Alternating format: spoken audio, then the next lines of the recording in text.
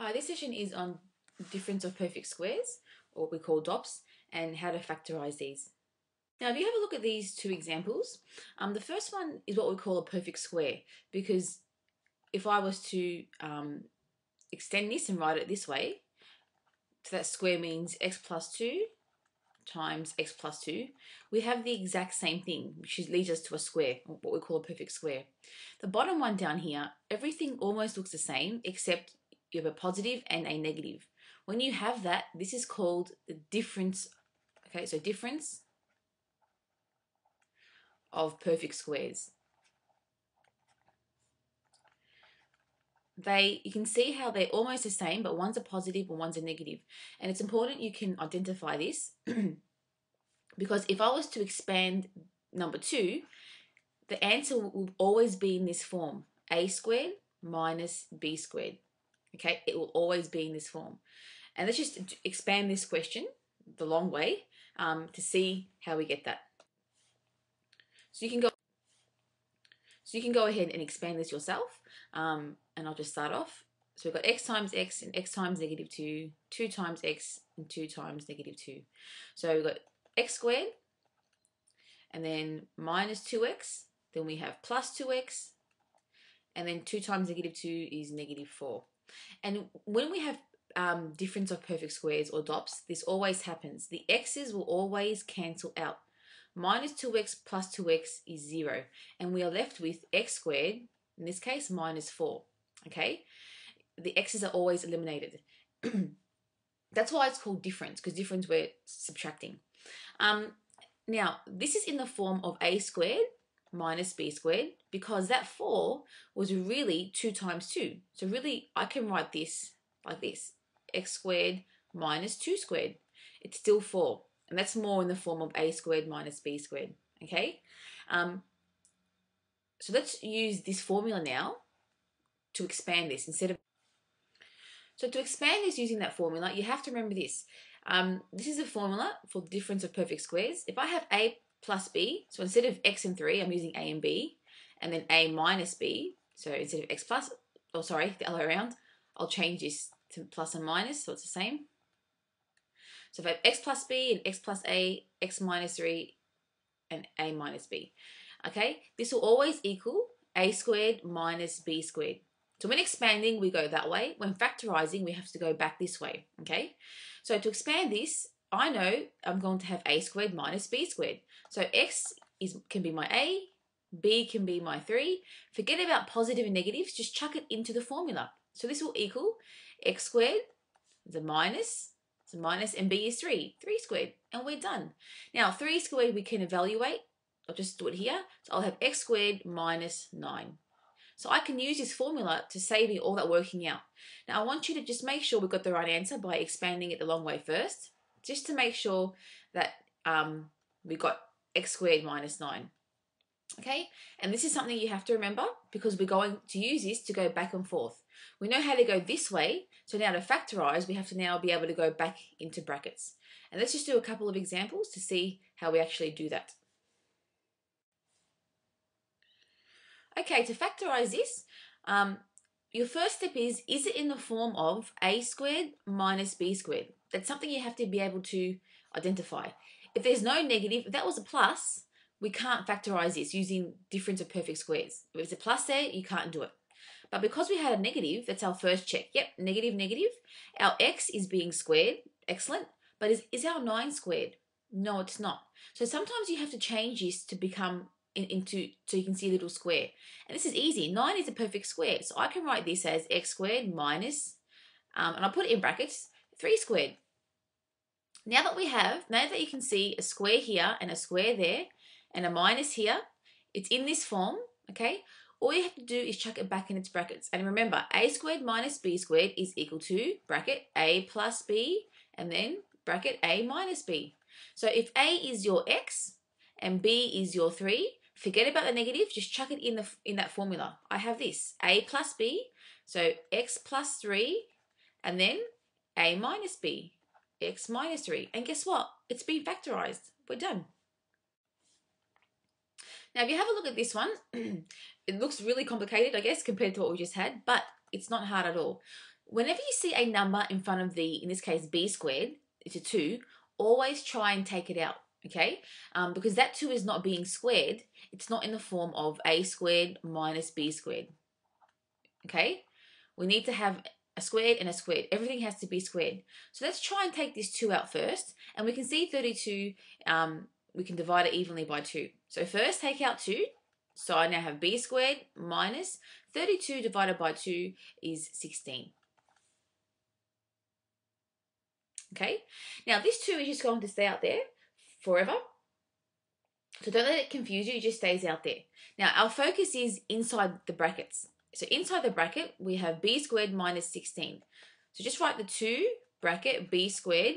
Now 16, is it being squared? Because I need a, I need to have a squared minus b squared. So there's my a, b, b is being squared minus 16, there's no square. But I can write 16 as what? As 4 squared. And now it's in the form of a squared minus b squared. And our final step is a is your b and b is your 4. They're both being squared. There's a 2 it just, just stays on the outside. Now get your brackets ready. 2 just sits out there. And we have a, so a plus b. So we've got b plus 4 and a minus b b minus 4. And guess what? It's been factorized. That's it. So don't forget that formula. a squared minus b squared is equal to a plus b and a minus b. That's how we got b plus 4 and b minus 4. And with these examples, this factor 2 stays on the outside. When we start learning about parabolas, this will make sense why that 2 is out there, okay?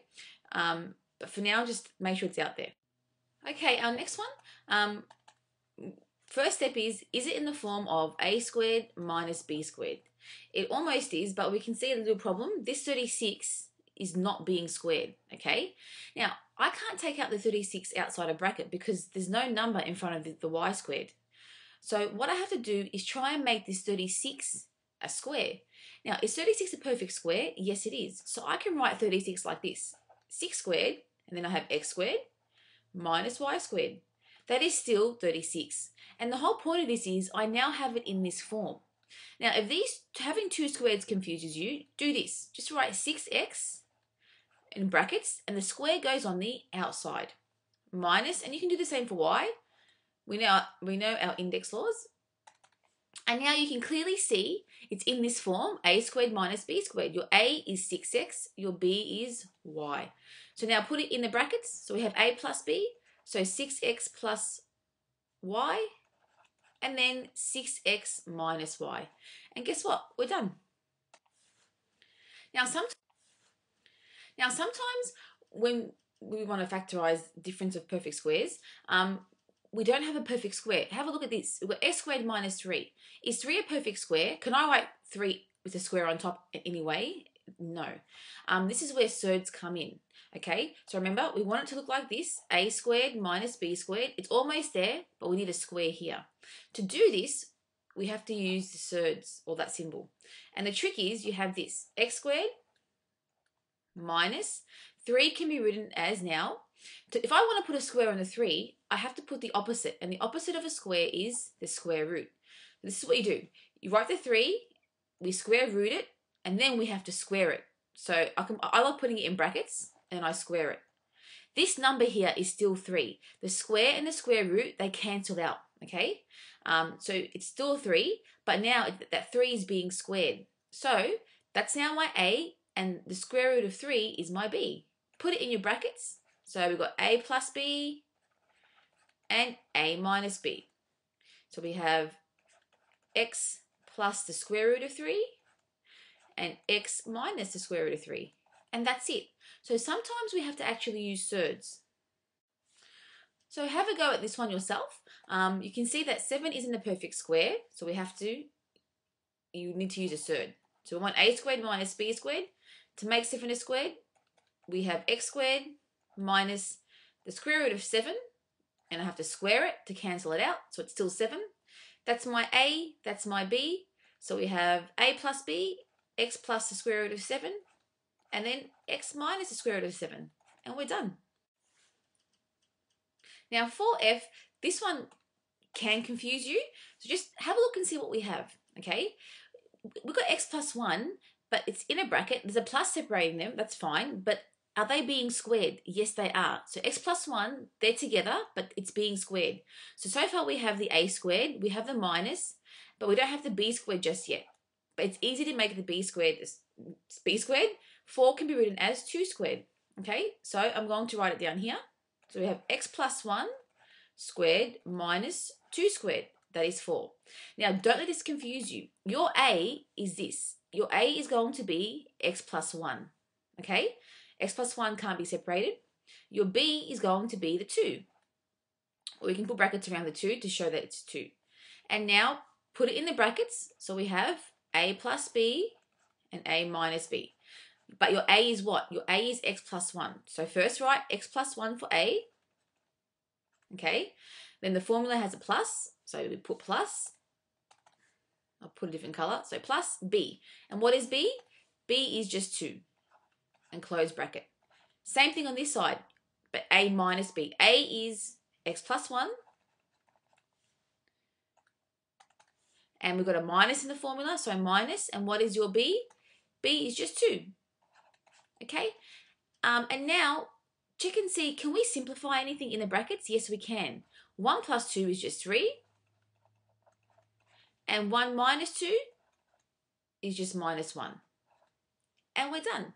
So with ones like these, it's only tricky because your a wasn't just one variable or one number. It happened to be two things, x plus 1. But both of them are being squared, okay? Just make sure um, you see that. All right, have a go at our last one first, um, and then see how you go. Now, with this one, remember, 1 is always a perfect square because 1 squared is just 1 okay? So this 1 is actually the best number because I can just add a squared right now. I haven't changed anything okay? Um, and it's in the form of what? a squared minus b squared. Remember, x minus 7 is going to be our a, because they're both in the brackets and they're both being squared, and b is just 1. So put it in that formula, a plus b, a minus b. So let's go. a is x minus 7. Oops, sorry, I closed the bracket. x minus 7 plus, we've got plus next, and b is 1, close bracket. Next bracket, a is x minus 7, and we've got a minus in the formula, so minus, and b is also 1. Simplify what you can in your brackets, and you're done. So x minus 7 plus 1 is minus 6, and next brackets, we've got x, and minus 7 minus 1 is minus 8 and we're done. So these questions just involve a lot of practice um, and just see how you go. Thank you.